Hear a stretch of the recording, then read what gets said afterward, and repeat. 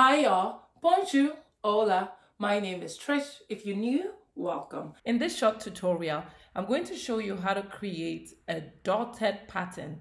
Please let me know if you want me to recreate this simple flyer for you.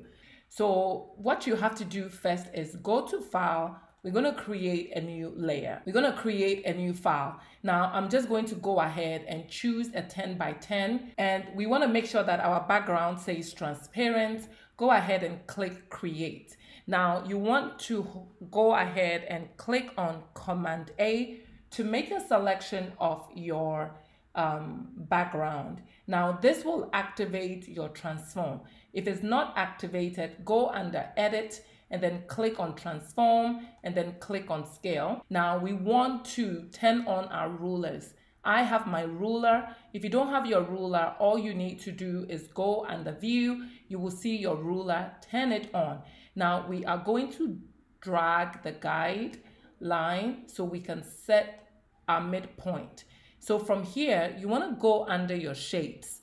Now click on your shapes and then choose the ellipse. Now we want to draw a circle in the middle. But before we do that, you still see that our canvas is selected. So click on Command D or Control D to turn it off. Now we want to click once in the midpoint of our um, canvas.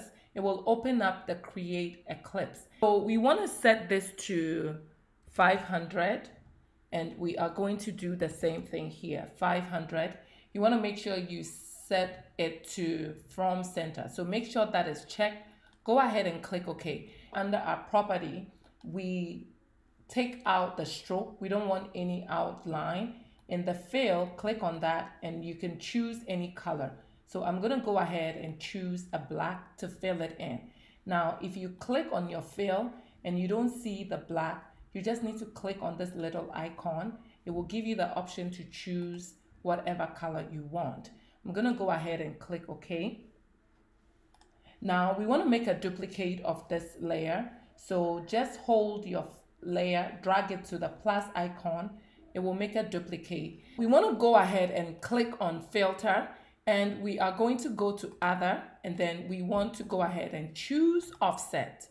So once you choose the off, offset, it will ask you if you want to convert to a smart object. So we want to go ahead and click on convert to smart object.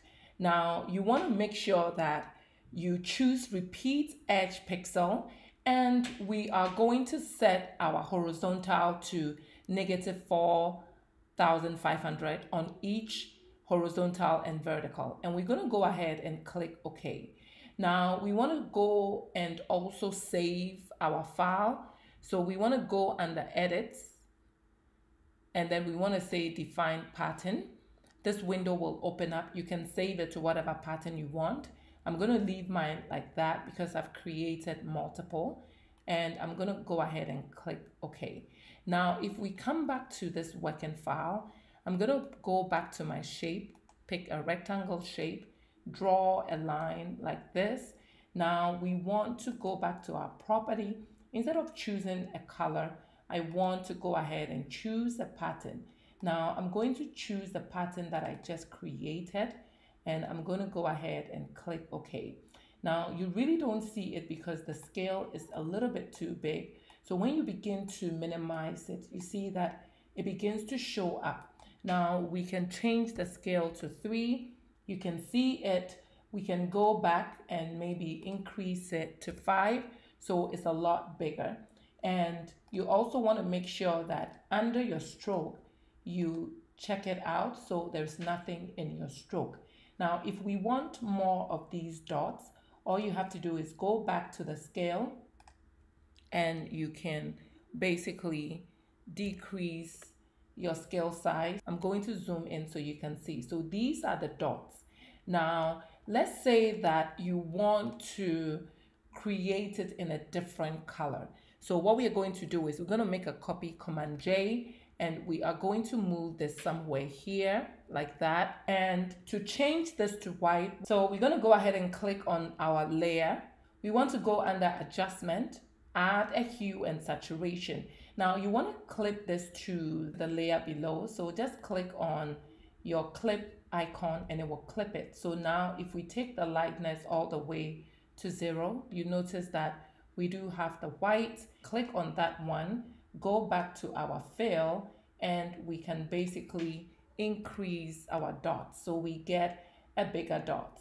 Now, when you get a bigger dot, you notice that sometimes where the line and the dot ends, it doesn't give you an even number of dots. So you will have to adjust your um, your shape so that your dots fit right in it. Now, let's say that we want to change this to a purple polka dot. You need to go ahead and apply uh, a solid color. So I'm going to click on solid color. And so we are going to try and pick the purple. I'm going to go ahead and click OK. Now you want to clip this layer to the layer below. I'm going to hold down options and clip it. Now I can double click on it. If I want a blue, all I have to do is just change it and it works for me. If I want a white, I can do the same thing and it will change it for me. I hope you enjoyed this tutorial. Please give this video a thumbs up and I will see you in the next one. Bye y'all.